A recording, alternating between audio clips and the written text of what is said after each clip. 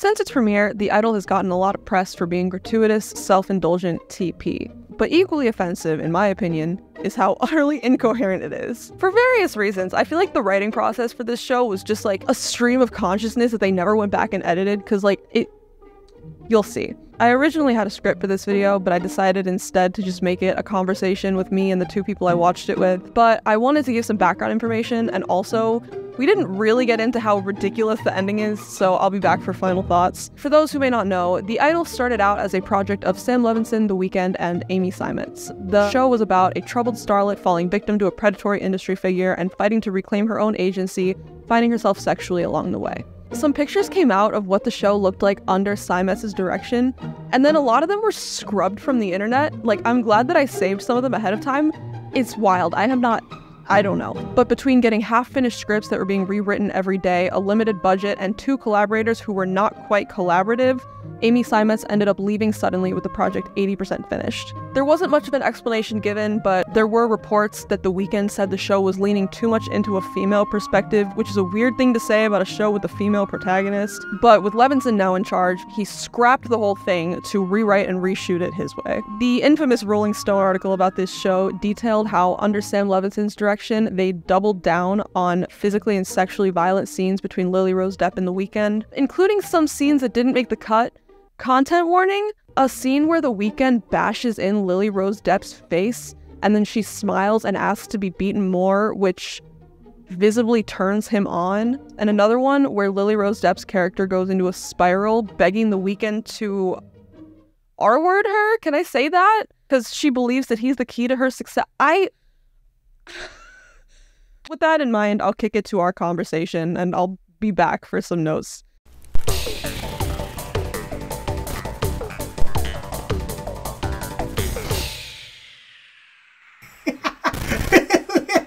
We come in swinging right from the get go, where she's doing the photo shoot. She's showing a little too much Yeah. skin.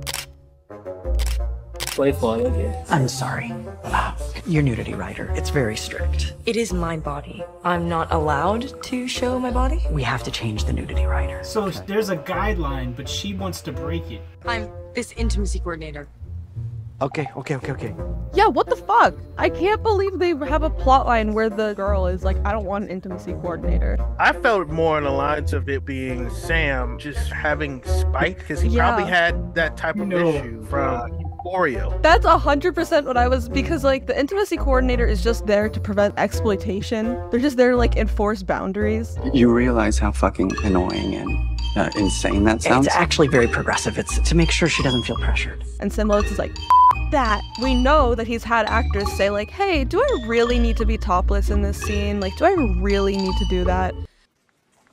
Um, I was bending over backwards during the first watch, trying to be like, maybe that's not what this is, because it would be crazy if he was so obvious about it. It felt very obvious because he had the dude locked in the bathroom. Oh yeah, they locked him in the bathroom. Why you gotta lock him in there, harass him? What?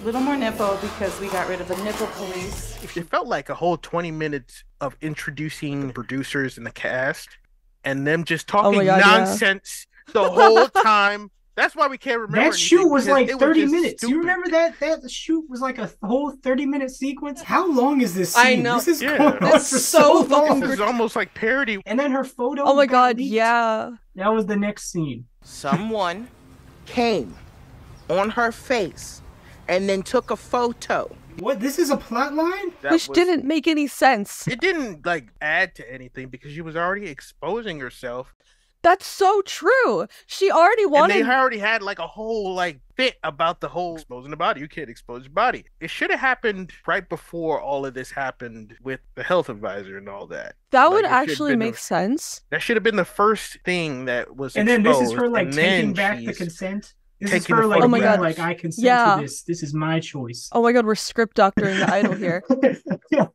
I bet because they rewrote the whole script. I bet that's how it was originally. I bet that picture leaked and it was like, oh no, her squeaky clean image is ruined. Okay, we should just lean into it. And then that's when she gets the like bad girl thing. But instead, we have her fighting to show her nipple and then being like, oh, not a picture of my face. 10 I hated the dialogue in this show. I, I did not enjoy it. When Jocelyn and Leia are talking and she's like, What's wrong with him? He's so rapey.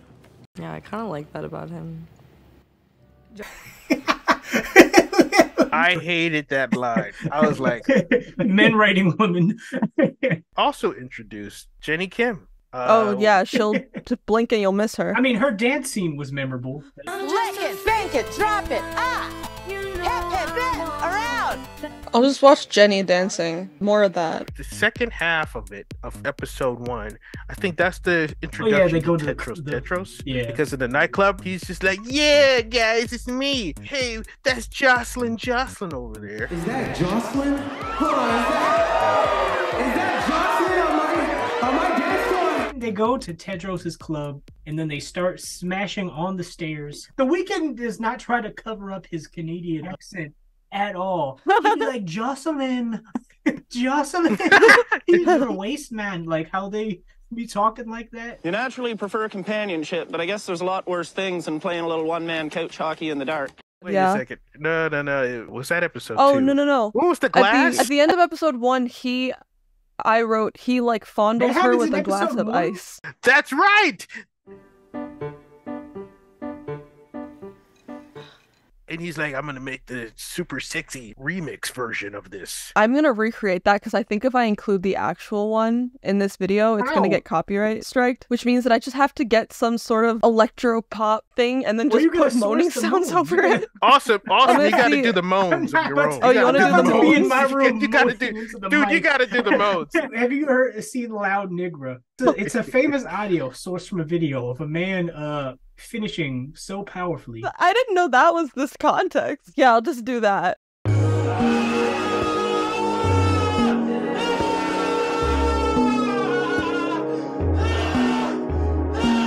It's hard to have find anything to say about the first three episodes because nothing happens. The first sex scene was so offensive, where she's like naked and writhing around, and he's literally fully clothed sitting in a chair. It's like a dating sim anime when the girl like- gets fully naked but the dude has his pants on. It's like a caricature of that trope of like, oh, we're not gonna put the guy in any sort of a We vulnerable can't, we, position. we can't put the Weeknd expose the Weeknd. Not that I want to see Yeah. Weeknd cheeks. I, But we I should that's have seen wrote. I was Weeknd like, Cheeks. not that I needed that. I, I I'm think not. I I'm not been saying over we my- needed that Yeah, by any was- means. You know it was a touching scene? The scene in the of the music video shoot of her mentally falling apart. That was That a- was a yeah. That was the only scene that had a meaningful moment to me of her just trying it and then her going outside and then that girl giving her the motivational speech. We love Destiny though. Destiny's a great character. This is perfectionism getting in the way of actually completing content, and uh, Is this yeah, you? I don't. Is this I don't get to. That felt like it was a different show in itself. What I forgot about that scene is that intercut with it is Tedros uh, making Cisco thrust Oh, while he shocks him. Oh, that's saying- right.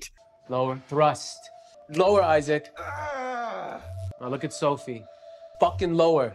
He's like, again, again. He's again, I hate his voice. The Weeknd and Drake have the worst talking voices. We What the fuck?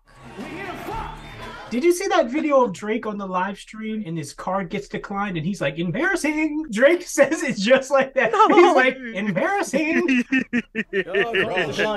Embarrassing! Euphoria at least had a plot that like was carrying was Had a plot. on. The idol makes Euphoria look like Citizen Kane. After that, everybody's like, I don't know if we should like go on with this because she's broken. If she really is as big as a pop star as this universe set it up to be, her going away for like a year would not hinder her career. Yeah, that's what I'm saying. If she's like, because they're making her like on the level of Taylor Swift. Like she came back and she Yeah. filled up this whole stadium. She is simultaneously like the biggest pop star in the world, where she's got all this pressure on her, but also completely broke. and they're like, we're out of money. How are you both? Was episode one with the one girl interviewing Jocelyn on Yeah, the which I forgot about until just now. Because I was like, how did that come in? And then I'm like, oh yeah, she just existed so that you know in the first. It's like if you show a journalist in the first episode, she must publish an article by the fifth episode. Oh, that was the other thing that I haven't read about, but I'm curious about is that a lot of people say that this is the Weeknd subtweeting Selena Gomez. I don't. Whoa.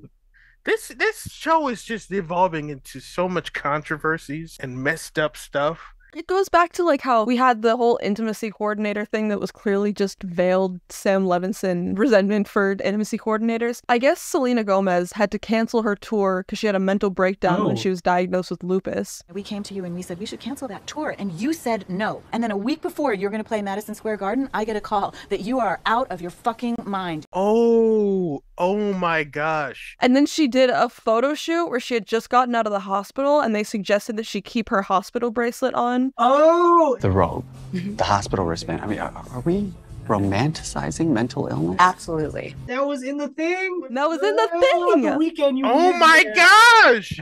He is a creep. He's a lame. What a little freak. Any like swagger that he had, it was swept under the rug after watching that. We can skip through episode Yes. three real quick that they have a cute little montage in Valentino of Lily Rose Depp trying on cute clothes. Just kidding, they fuck really loudly.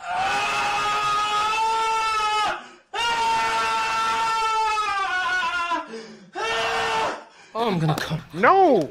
That was the iconic scene with the black dude, and the guy was like, "What you looking at my girl for? What you looking at my foot for?" Sorry, I'm not. Fucking catch you looking at it. I'll fucking drag you down, Rodale. I'll fucking curb stomp you. And then he pours some maple syrup on his head. He's like, hey, you're a waste man, you hoser.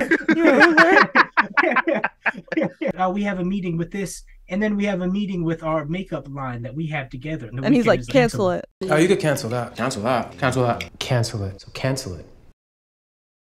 He's like, that's good for you, not for Jocelyn. I was thinking about it. That's, first of all, not even true. If she's as broke as they say she is, like, she needs every source of income she can get. But also, like, they bring this up later when Troye is like, she's using you. And it's like, he is actively, like, firing her employees, like, messing with her business when he's clearly Oh, in that's control right. here. There was like the dietitian was like, "All right, you know, let's see the diet," and he's like, "Don't touch her! Don't you touch her!" You get the fucking curb stop, you. You mind not groping my girl?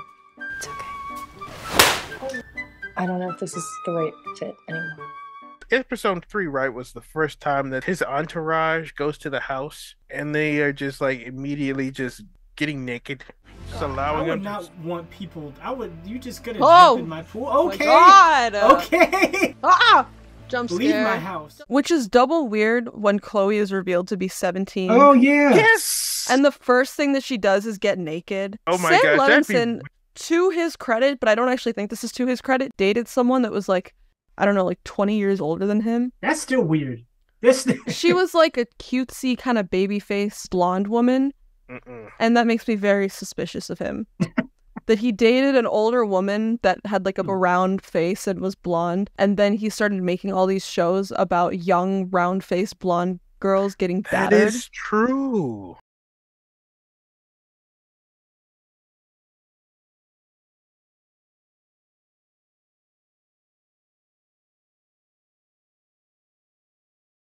I'm like, It's almost like... he's expounding on his weird interests. Thank you for taking care of me. 'Cause that was what I was writing. It was the conversation they have at dinner is incoherent. Them using that picture of her as the album cover. And they're simultaneously being like, you're a sex icon, and also so many little girls look up to you. But it, it just doesn't matter because it's not commercial. Like, you can't do that. Stores won't show your album if that's your cover. And it's so annoying because it feels like no one, like characters or writers on this show, understands the absolute basics because nothing actually mattered in this show. It was just a vehicle to get Lily Rose Depp like battered and naked. Yeah, this is uh this is a film. We just do it as a write off and stuff just to get people naked and stuff. There are jokes about that with like B movies where someone is the writer, director, star, and it's like some fuddy duddy old man, but then the love interest is some Yeah. like hot woman, and it's so clear that this is all just an excuse for him to like get to grab her. Hi, this is Mandy. Hi, Mandy. I just called to say hi. Oh, boy. oh, you know what it is. It. Because you're thinking about it too. Just so you're clear, Josh, the, the guy who wrote and directed this also stars in it. So- Yeah, you're right. And he filmed the scene. He filmed these scenes. There's something we glossed over in the dinner scene, and that's that this is when Tedros gets Jocelyn to admit that her mom used to beat her. Her favorite was probably hitting me with a hairbrush. Does Sam Levinson only write very damaged women that are being controlled by a man? And then Destiny does some digging on Tedros, finds out that his real name is Mauricio, among other things about him. This motherfucker kidnapped his ex Oh. Girlfriend. held her hostage for three days, and beat the living shit out of her. Oh. come I'm talking about torture, crazy wild shit. fucking torture? Tortured her. There is a 400 page trial transcript with details that will raise the hair off of your motherfucking neck. And to make matters worse, while he was in trial, he got hit with a slew of other charges. So he's canonically like a serial abuser and a pimp and a cult leader. So just like keep that in mind. We'll come back to it. You still got that hairbrush? So episode three ends with the, the hairbrush beating. Oh wait, wait, wait a second. What was the scene where like Jocelyn is singing with the the studio guy? Oh my oh, god, are we talking about an episode four where he Okay, pulls wait. up her dress? Oh yeah, And yeah. is like feeling her in front of everyone, and she's just like screaming into the. Because I was writing, Yeah, that's the that's the scene. the fact that she's recording a song is like secondary to the sex that they're having. Like that is a sex scene where she just happens to also be in front of a microphone.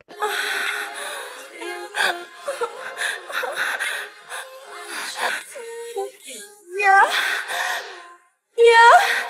Oh my god! Look at that grin. I was not thinking about that. I tried to erase that from my head. But then, have we talked about Troye getting shocked yet? Okay, so again, we kind of glossed over this. There's like a three minute scene of just shocking Troye Sivan with a shock collar. I was a huge fan of Troye Sivan when I was like 10, 11, 12 ish. Who makes you laugh? Troye Sivan. Who makes you laugh? Troye Sivan. I've literally been Troye trash since like, what is this, 2013, 2012? One of those two. It starts with like Tedros and Xander having a little pitch perfect moment where he finds them singing in the shower and he's like, You've got such a great voice. Why don't you sing? You should really use the gift that God gave you. You ask Jocelyn how she feels about that. So the implication that Jocelyn played a role in Xander's lack of a singing career lands him in a shock collar. Stop fighting. Stop fucking moving. So we get this really long sequence of Jocelyn being like, He's lying, shock him, and Xander getting shocked. Shocked him again. So then, amid getting shocked, Xander is like, She fucking controls everything around her and everyone. And now she's doing it to you. You. It's it's out of focus, but I can still see the nips. and it's like, what?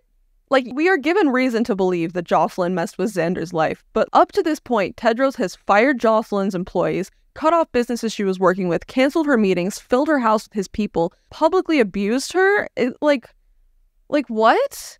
So now Xander is like kind of on Tedros' side, but also kind of riding Jocelyn's like coattails, I guess at Tedros' behest, but he's also like doing his dirty work. Like he frames this guy for rape, and it's really weird. We'll come back to that too. There's so much that happened that had no impact on the plot. And then this is when uh Jennie comes and apologizes for taking her song. I just signed with Magistrate, and she wants me to have World Class Sinner as my first single. Wow. Which I don't understand how that scene worked because if that was her moment of understanding that the Weeknd was playing her, but then in the end he she was playing him all along. I don't understand Right. how how, Right. how that yeah. worked out. Because the moment of understanding there was that the Weeknd had Jennie bring her in the first place, which I was saying, like, as someone who, I don't know if I mentioned this, had a similar situation where I once met someone at a party who I later found out had had his friend invite me there, but like didn't admit that he knew who I was. And he was like, You look so familiar. He literally goes, You look so familiar. Do you have a YouTube channel? Oh And man, it's like that oh, made me like no. seethe. That's so lame. But I didn't I didn't turn into a master manipulator after that, which is what seems to happen with Jocelyn. This would be like Mm. if that happened to you, and then you found out that it was all set up, and then you were like, actually, I was the mastermind behind all of this. Like, like Actually, I did know. yeah, like that. Was, I knew yeah, that from the that's a, that's a good point because she did really didn't know, and then it's as though it's that when she found out that Tedros was a lame, that's when she was like, "I'm the master manipulator now. I am in control." Jocelyn finds out that Diane was put up to invite her to the club in the first place, and that's why she invites her ex over to sleep with him again. And I was talking to someone for that entire scene. dude, this is the most graphic it has ever been. This is too much. Immediately upon the ex showing up, Tedros is a fucking mess. He was a coke addict. Oh my already, god. But then by episode four, he was like, he was He's like sweaty and crying. And it only took a night. for him to took a lose single It control of took- drugs. it was within that night where he's pounding shots, like so many shots in a row. Ah! If you keep it, since you... Oh yeah. So after the whole deal with like shocking Xander, Isaac Cisco is like, okay, you need to do something for Tedros now. And that thing is very unelaborately framed Jocelyn's ex for rape. I met this girl really briefly at the bottom of the fucking steps when Xander asked me to take a fucking photo. Now she's going to press saying I raped her? And she has witnesses? It doesn't make a whole lot of sense that like this is clearly a guy that Jocelyn doesn't really care about, but then when she finds out amid a 23 minute scene where she and her friends are like giving lap dances to her team to like convince them to greenlight her tour. Amid that, she finds out that her ex has been framed for rape and she figures out that Tedros did it. And I guess that's the final straw where she's like, get the hell out of my house. Get out. I'm not leaving. Then I'll call the cops. Then I'll keep you hostage. Then they'll fucking kill you. Not before I fucking kill you first, bitch. Pay him whatever the fuck he wants to get out of my life forever. Send them all. But Tedros won't take money to leave. He just like tears up the check. So then they have Chekhov's Vanity Fair columnist publish a hit piece on him, which is explained with some very um, concise and subtle exposition. And most importantly, that psychopath is out of our lives. Oh yeah, got rid of him. God, that fucking Ganef. You know who fucking did it? You fucking sniper right. Talia, that That's right. fucking Vanity Fair Talia article. is hot. His ass I out. love her. The quotes That's from the hookers he used to pimp out. Yeah. So this Vanity Fair article ruins Tedros' image. He loses his club. He's getting hit by the IRS. But it's like, why would Vanity Fair care? Unless Chaim posed this to them as like this guy was exploiting Jocelyn. In the context of the show, he's he's a nobody, which makes me think this is another one of those vestigial things from the original script. Because in the original script, I think he's supposed to be like a big name record producer, but in this, he's just some dude. So it's like, why is Vanity Fair publishing an article on some dude? But it doesn't matter that it doesn't make any sense. They don't need to fix it because their goal wasn't to write a coherent show. It's just to hit some beats, pun intended, I guess. So whatever. Tedros has skyrocketed from a no-name club promoter to a Vanity Fair featured pimp and abuser. But then six weeks later, Jocelyn is on tour, and Tedros goes to the venue to see if she's left him an artist pass, and she did. You have a great night, Mr. Jackson. So he meets up with her in her dressing room and they're inexplicably in love again. And then he sees the brush that her mom beat her with. Did you say this was the brush your mom beat you with? I did. It's brand new. So I guess she faked it. She lied about being abused. But to what end? Because he did beat her in the show? She was screaming and crying. Was this all part of an elaborate ruse? And again, like, to what end? And then she goes on stage and introduces Tedros as the love of her life? I have the opportunity to introduce you to the love of my life. And then she says, You're mine. Forever. Now go stand over there. and it's like, what? She was doing all this to absorb his talent. Because she took his people, is- yeah. Like the Weeknd has a talent of bringing the best out of people musically. I think But what did it they was immediately- is that he brought the best out of her, and that's when she exploited him. Yeah. But wouldn't the way of doing that be that she lets him bring out the best and then she kicks him to the curb? Then she then the love of my That life. That would make more sense than the love of my life, who we just had a hit piece published on. So she's ruining her own image. The it's like of. Hey, Taylor. Swift comes out and she's like, "Hey, I'm dating Charles Manson. He's the love of my life." Oh my gosh. it's like what? I'm dating the Weinstein. And I'm like, oh. Yeah, and then she whispers why? into like Harvey Weinstein's ear. She's like, "You belong to me now." Like, no, you've just ruined your own image. You know, it's funny. I'm getting exasperated just talking about this. Like I know, I'm like, like- I watching it, watch it all over again, just reliving it. Yeah. So it, the moral of the story was she was manipulative all along. And women be trifling. It- it That's the just- moral. Everybody's a, a victim, except for Jocelyn. What we realized at the end is that Tedros was her muse and that she got what she needed out of him. What? He was her muse? she got her like opening act, I guess. She got some of his cult people. I think a lot of the audience will, will watch maybe the first few episodes and think that this guy is taking advantage of her. By the end, he realizes that she knows exactly what he's doing and she knows exactly what she's doing. But she didn't. She didn't know exactly what he was. What was he doing? They just had a lot of sex. What? What? What? What? Why was he canceling her meetings and firing her staff and beating her with a brush in front of her friends? What? What was the goal? She needs to devour those around her to feel like she's got something to say. This pimp from the Midwest who shows up in Beverly Hills ends up being the victim. How is he the victim? How is he the victim? Because he got kicked out? Literally, what was he a victim of? He is canonically a serial abuser, a pimp.